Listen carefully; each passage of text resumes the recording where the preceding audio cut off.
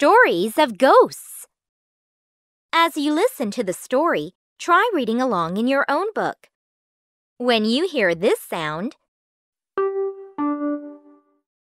turn the page. Chapter 1 The Story of Shiverham Hall.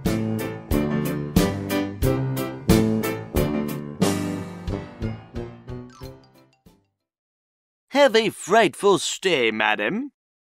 Shiverham Hall was a hotel with a difference. All the guests were dead. Ghosts came from the spirit world to be greeted by Shiverham's spooky staff. There were 22 ice cold bedrooms, a poltergeist powered jacuzzi, Ah, lovely. And a string quartet playing haunting tunes. No living soul dared visit the hotel. It was far too creepy. The ghosts were left in peace. Then, one afternoon, the hotel's deathly hush was shattered. Slam! Most of the ghosts were napping. Mr. Quiver, the hotel manager, had come down for a glass of water. Suddenly, a round faced man flung open the front door and strode up to the reception desk. This is just what I've been looking for. He boomed. A tall, thin man scuttled in after him. Hmm, are you sure, Mr. Slate? He asked nervously. Of course I'm sure, Simpkins. Barked Slate. This will make the perfect site for my new hotel. I've had it all designed. Slate proudly spread out a large plan in front of his assistant. Behind them, Mr. Quiver sneaked up to get a better look. Slate Towers Luxury Hotel. Rooftop sun terrace and pool. Suite for personal guests of Mr. Slate. All night burger bar. Giant 24 hour disco. Underground parking for 500 cars. Mr. Quiver was horrified. I'll have this place demolished in no time. Slate went on. But perhaps I'll look around and see if there's anything worth saving first. Don't be too long. Gulped Simpkins. They say the place is haunted. Ridiculous! Cried Slate. Ghosts don't exist, and I'll stay the night to prove it. We don't exist, eh? Thought Mr. Quiver as he floated upstairs.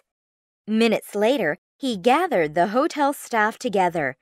No one was happy about Slate's plans. We'll never get any peace in his noisy new hotel. Wailed Charlie the waiter. And where will our ghostly guests go?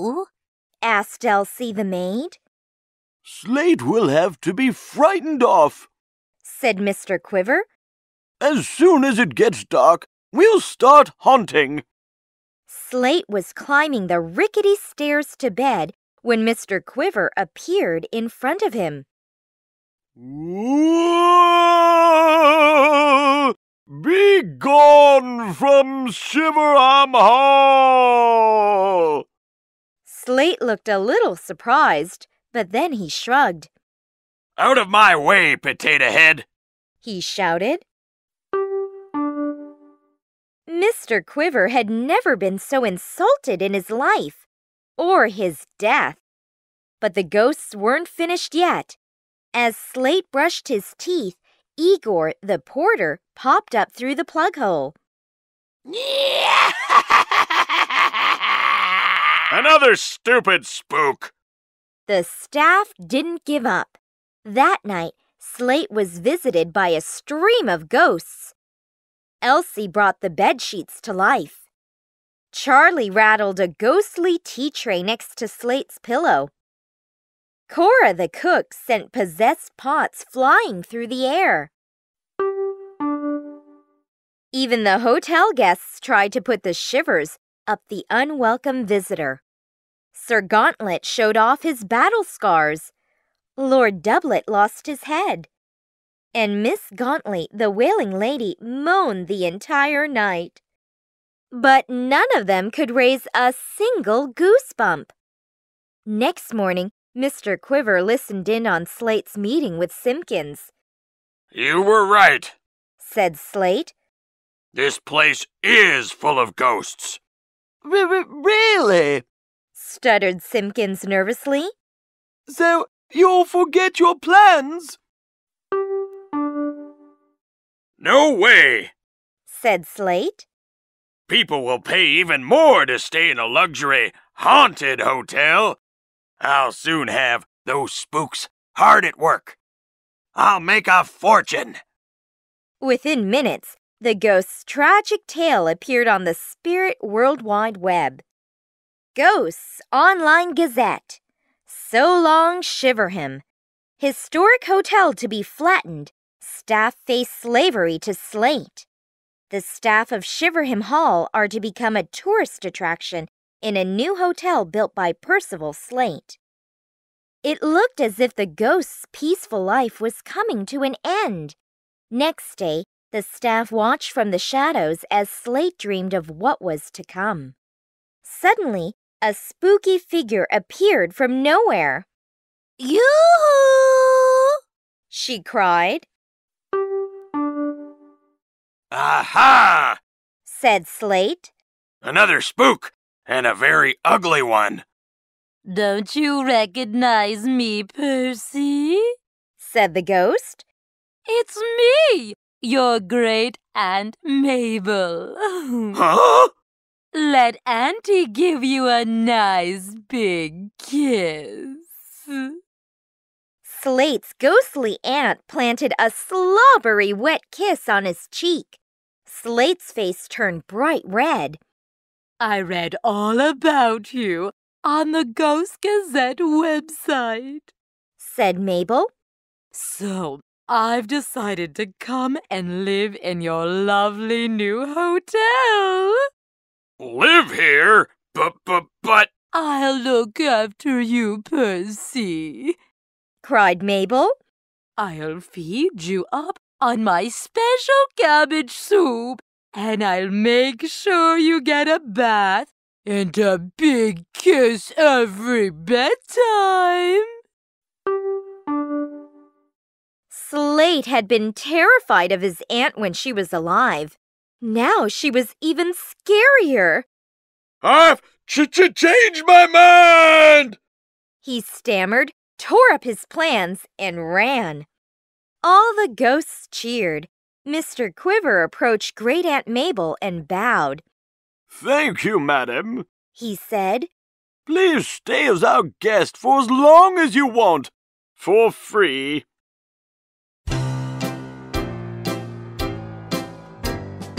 Chapter 2 School for Spooks.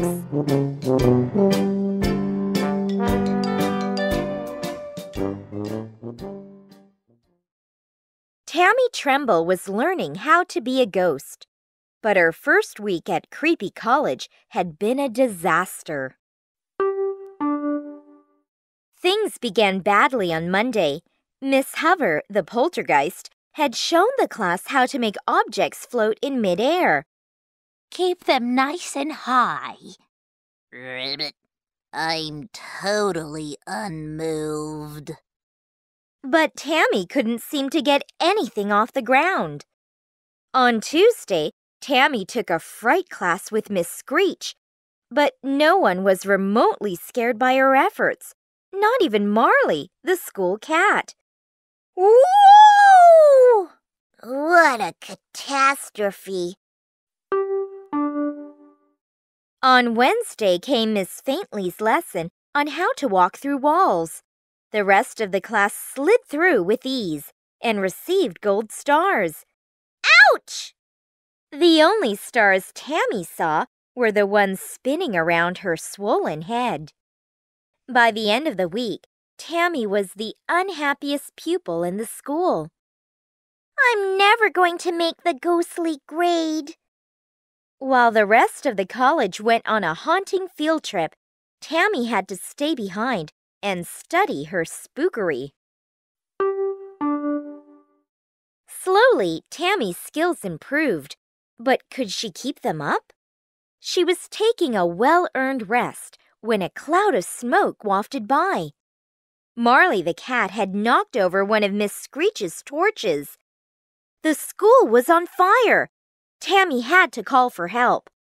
The only phone in the school was in Miss Creepy's study. When Tammy got there, she found the door locked. There was only one thing to do.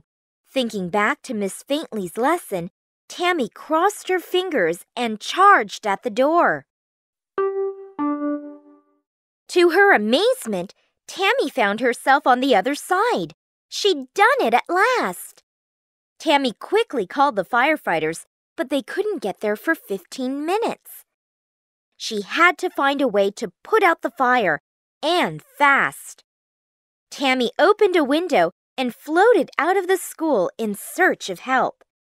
She was hovering over a nearby construction site when she saw just what she needed. Can I borrow your truck, please? Get back to school, kid! Getting through the study wall had given Tammy new confidence. Now she was ready to try her scaring skills. Help! The driver leapt out of his cab in terror. Now came Tammy's biggest test. She concentrated on the truck. It was a lot heavier than a toad.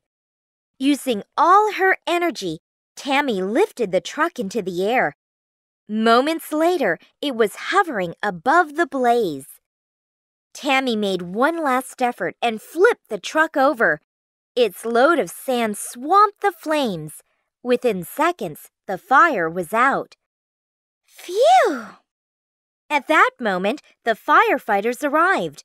Miss Creepy and the rest of the school weren't far behind. The students found Tammy lying in an exhausted heap. What happened? cried Miss Creepy. As the firefighters made sure everything was okay, a tired Tammy told her story. That evening, Tammy was the star of a special ceremony in front of the whole of Creepy College. But she was too sleepy to enjoy it. Perhaps when she woke up, someone would tell her she was now a grade A spook.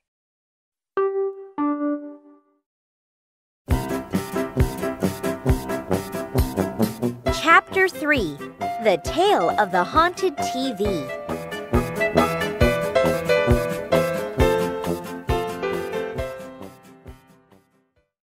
One Saturday afternoon, Glenn Goggle was watching TV.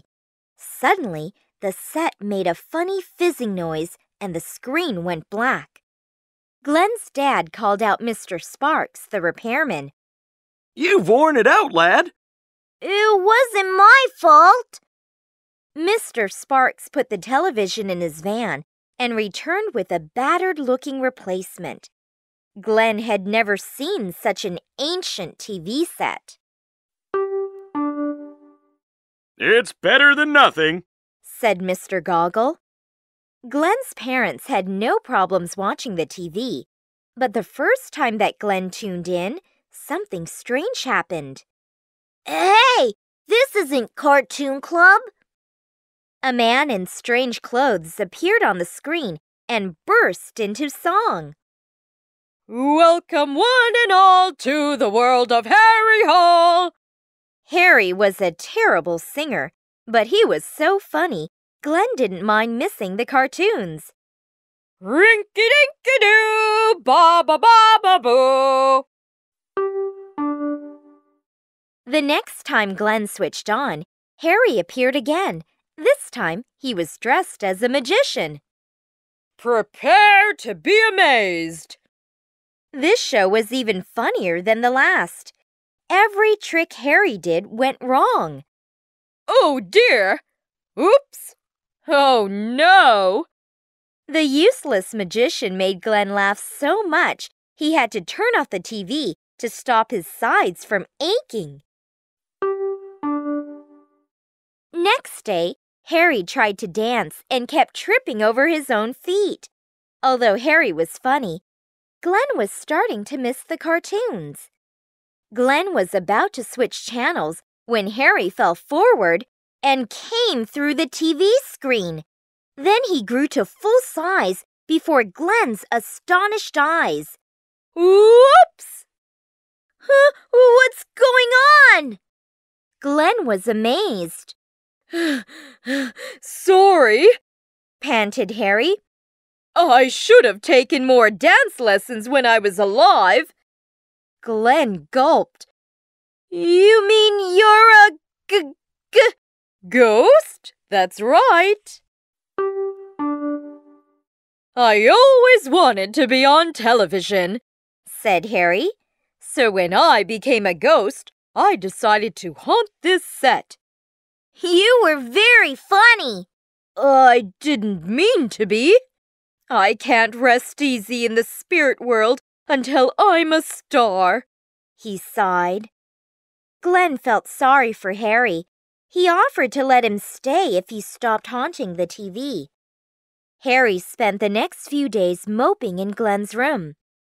Then one afternoon, Glenn showed him a ticket. Look where we're going, he said with a grin. Come and watch Talent Time, the top TV talent contest, being recorded Saturday, October 4th, 3:30 p.m. at XYZ TV Studios. Big cash prize for the top act. Harry was full of excitement. He'd never seen a TV show being made before. Glenn wasn't sure if spooks were allowed in TV studios. Harry shrank himself down so Glenn could smuggle him inside. Are we there yet? Shh. Glenn was relieved when he reached his seat in the audience. Harry peeked out as the lights dimmed and the show began. There were singers, dancers, and comedians. Glenn thought they were great, but Harry did nothing but grumble.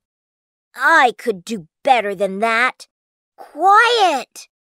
Glenn didn't notice the ghost float away, so he got a shock when a full size Harry suddenly appeared on stage. Harry pushed the other contestants aside and went into his act. He sang terrible songs. He messed up his magic tricks. And he finished with his clumsy dance routine. The audience roared with laughter. Harry won first prize as the star of the show. He called Glenn on stage to say thank you. With a big grin on his face, Harry faded away. Glenn grinned too. Harry had given him the prize money to buy a brand new TV.